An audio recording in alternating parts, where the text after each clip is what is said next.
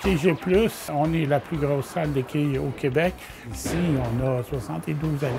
Le monde des quilles a connu ses meilleures années dans les années 80. Puis, euh, les années 90, on a vu l'explosion de nombre de salles de quilles en travers le Québec. Ça a été les planteurs à cordes et aussi ça a été la venue des marqueurs électroniques qui fait que le monde n'avait pas besoin de marquer. C'était l'électronique qui trouvait à faire la job. Ici depuis 33 ans. J'ai commencé en juin 80. C'est sûr, on a fait beaucoup des changements. On a fait des rénovations, des modifications.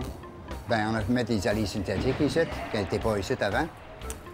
Puis on a modifié les machines. Différentes choses qui changent, technologie, les TV en avant, les détecteurs, euh, les ordi. Ben, le principe des quilles, ça reste pas mal pareil. C'est un bol, tu frappes les quilles avec. C'est tout.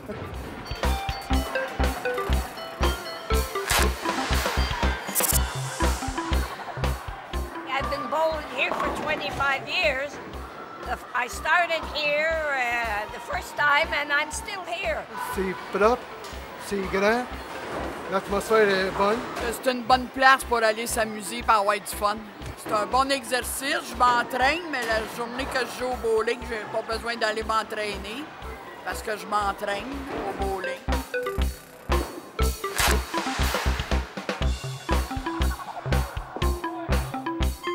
Le temps est difficile par rapport qu'on n'a pas la clientèle qu'on a déjà eue. On n'a presque plus personne dans les, dans les jeunes qui jouent au quai chez nous.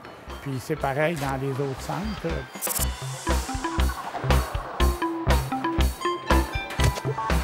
Les gens, ils viennent s'amuser. Puis ils viennent pour avoir du loisir, avoir du sourire, parce qu'ils ont été bien reçus.